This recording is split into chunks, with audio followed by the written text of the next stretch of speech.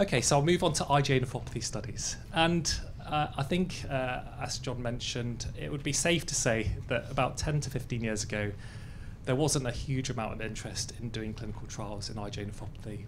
And I think the reasons are because that it is a fairly rare condition, um, uh, as we can see, and and um, the condition tends to progress fairly slowly as well over kind of years to 10, 10 15 years.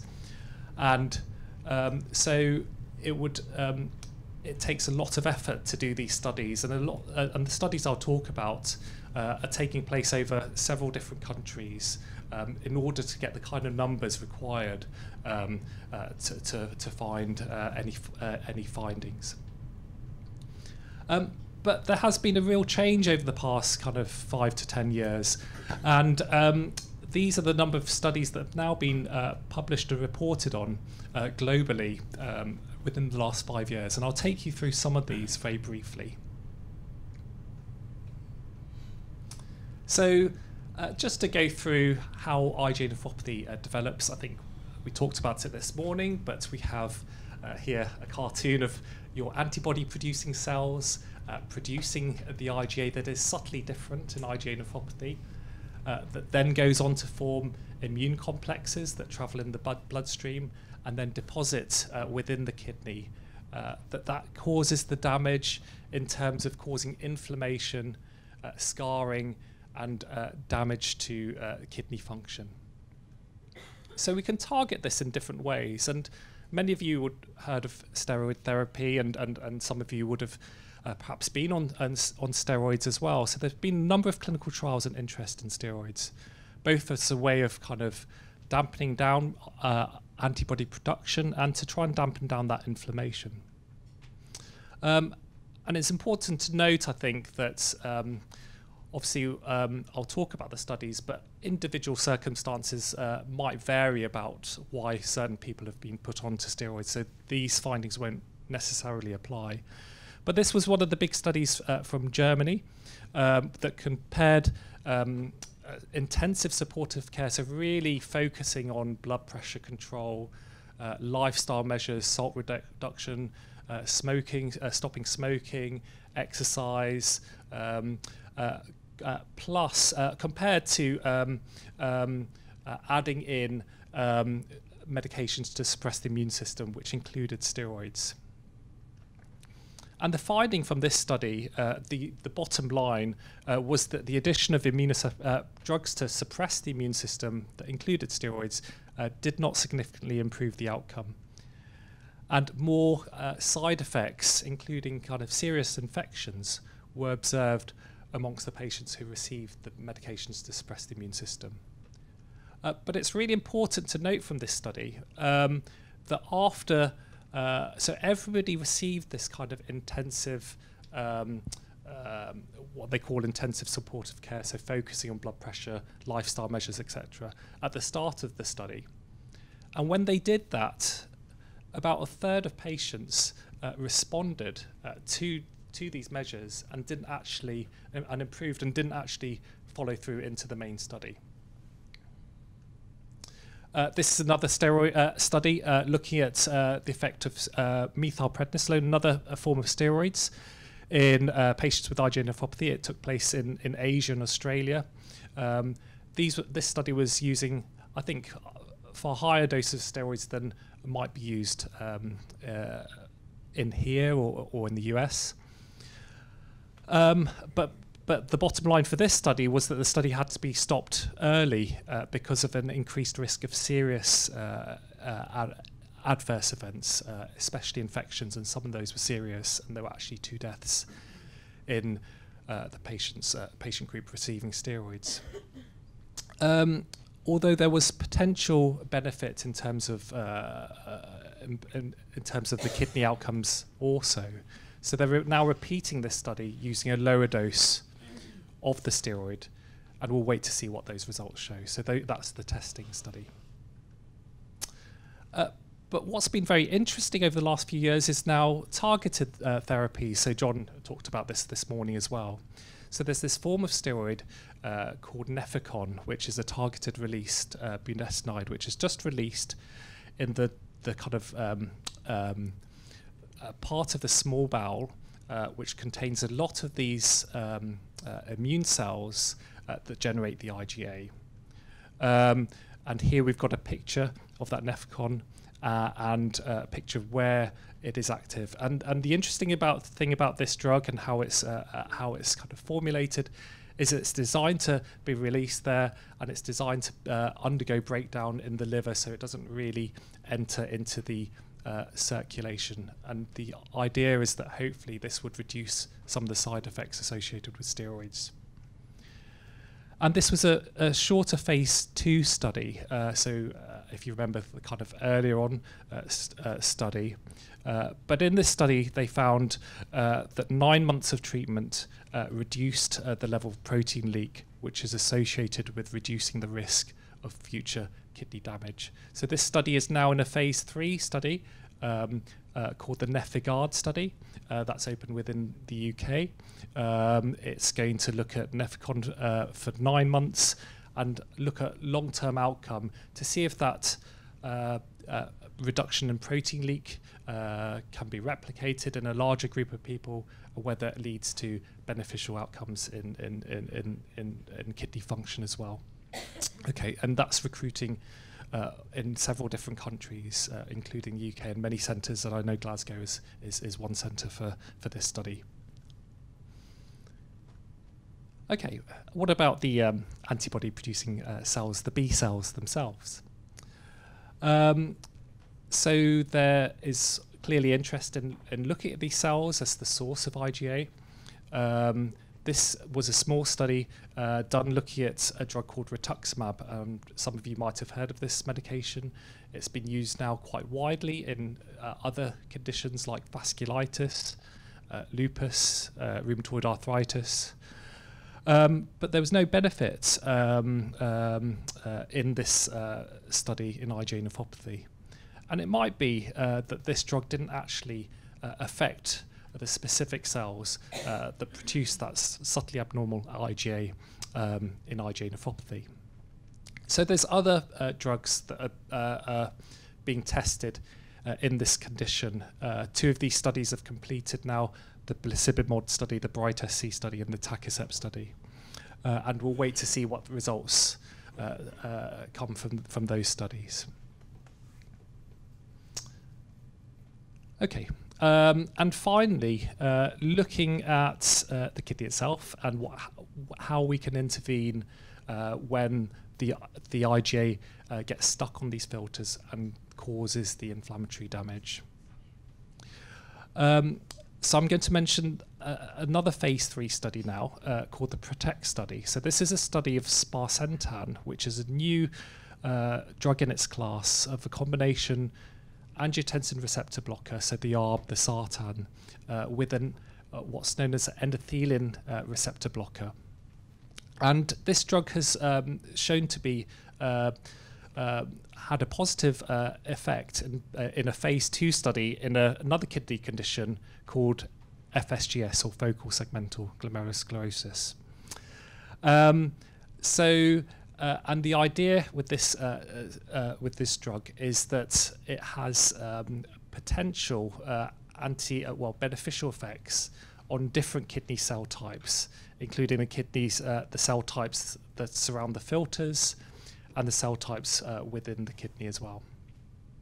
Uh, so this is a big phase three study. About uh, I think they're looking to recruit around 300 patients uh, globally, Again, it's open in Glasgow and in other centres in the UK, including Leicester. Um, and uh, this uh, study will be uh, of taking this medication um, uh, for two years versus the uh, active control, which is another sartan, and to, to look to see if this produces beneficial outcomes.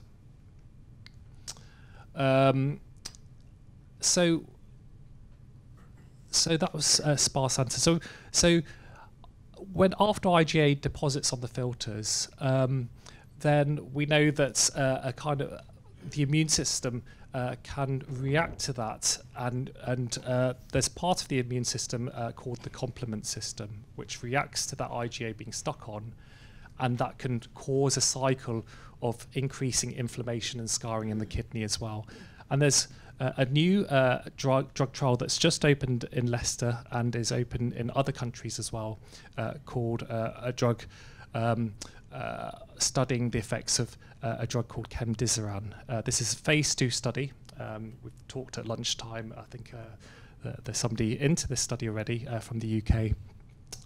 And this is using a new technique to, called, to do with gene silencing to knock down production of one of these complement components um, with the idea of reducing that kind of complement cycling and the inflammatory uh, process. Um, so that's quite a, a, new novel way of using uh, using therapies that target genes to try and reduce that process. There's a lot of interest in the complement system and how that's overactive in IgA nephropathy, and there's a lot of other different complement inhibitors which are coming soon uh, to trials. And after the IgA nephropathy, uh, after the IgA uh, deposits in the kidney, there are other kind of inflammatory processes that get uh, increased. Uh, one of the pathways which we were very interested in uh, was the spleen tyrosine kinase pathway, or SYK for short. And if for those of you that have been to previous talks, Fred Tam talked about um, the use of the inhibitor fostamatinib, or, or the SIGN study, um, and that's now completed, and we're waiting for the results from that. Okay, so that's probably all I was going to talk about about uh, uh, specific studies. So I was going to take a step back and, and, and just mention why you might want to take part in a clinical trial. Well, I think without uh, clinical trials, we would never improve our understanding of the condition and things would never move forwards. Um, so we're very extremely grateful uh, to people with the condition giving up their time uh, to put themselves forwards for these studies you might want to access a new treatment that's not available. And many of these studies will have a, a, a phase uh, where after you complete the first uh, part of the study, uh, where you might be randomized to either getting the new treatment or the placebo, where they'll do a, a, second phase, which is called an open label phase, where everybody will get access to that new treatment. Uh, but by the nature of it, because it's a study, because it's a trial, nobody uh, we don't really know for certain whether they're going to have long-term benefits. That's the purpose, of, clearly, of doing the study. Um, but I think some people say to me that it's it's nice to actually take some ownership as well and take an active role uh, in in um, in um, their disease process and and uh, there are clearly drawbacks um, to, to, to, clinical to, to, taking part in clinical trials. Um, um, certainly, uh, they can be very time-consuming, um, uh, especially uh, some of the earlier phase uh, studies. Uh, but we try and schedule kind of study visits around around patients really, and often we can combine clinic visits with with, with study visits as well. There might be side effects from from additional medications.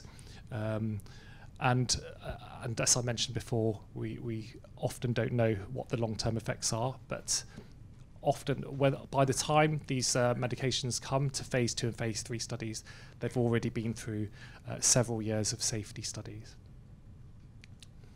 Uh, generally, these trials, I would say, are not suitable for those with uh, reduced kidney function um, because uh, most of them are being used in people with more preserved kidney function, uh, as that's perhaps where you would see the most benefit.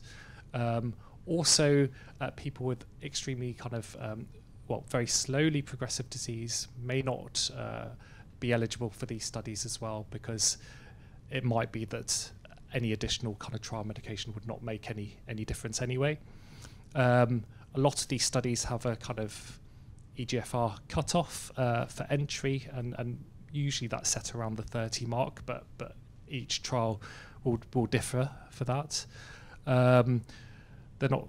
They don't. Uh, these studies that I mentioned are not suitable for those on dialysis, uh, and there's no, as far as I'm aware, there's no studies uh, available at the moment for those who've had a kidney transplant to look at um, how we treat patients who have uh, IgA that recurs in the transplant, although that's clearly a very um, an area that needs to be studied. How do you find out more? So I would uh, I would say to contact your own uh, your your kidney units, your kidney doctors. Um, but I'll point you. I'll, I'll, point out some websites that I think are, are, pretty useful as well, and I'll show you examples of those. Um, you can contact either myself or uh, John, uh, who's really been um, uh, involved very heavily in the design of many of these uh, global studies. Um, those are email addresses or, or Twitters. Um, so the first website, the UK Clinical Trials Gateway. So, so if you just googled that, uh, you'd you'd get to this website, and and here you can kind of search for a study. Uh, so for the condition and where you are. And I did this a couple of days ago. So I put in IgA nephropathy and Glasgow there, and I found the NefIgArd study at the top and the sparsentan and the PROTECT study there.